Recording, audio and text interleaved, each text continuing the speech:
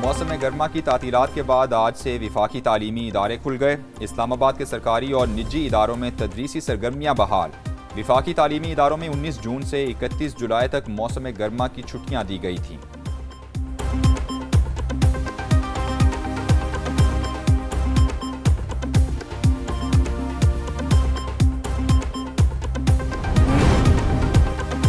Rizwana तशद case का आज खुद नोटिस लेने के लिए सुप्रीम कोर्ट में दरख्वास्त दायर। सिविल जज की अहलिया ने घरेलू मुलाजमा पर तशद किया। तशद से लड़की तशवीशनाक हालत में जेर इलाज है।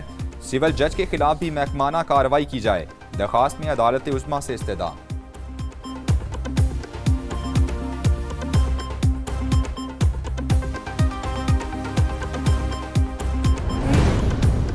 मानसून बारिशों और सैलाब से तबाहकारियाँ जारी। रिनाला खुर्द में सैलाबी पानी से फ़सलें तबाह, इलाका मकीन मैसूर हो गए। अहमदपुर शरकिया में दरियाए सतलुज में तुगयानी, शर्की ज़मींदारा बंद टूट गया।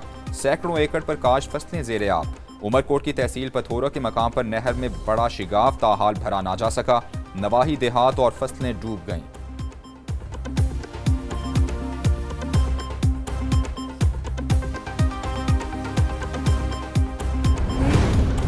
और खाना काबा को गसल देने की सालाना तकरीब बैतुल्ला का दरवाज़ा खोल दिया गया।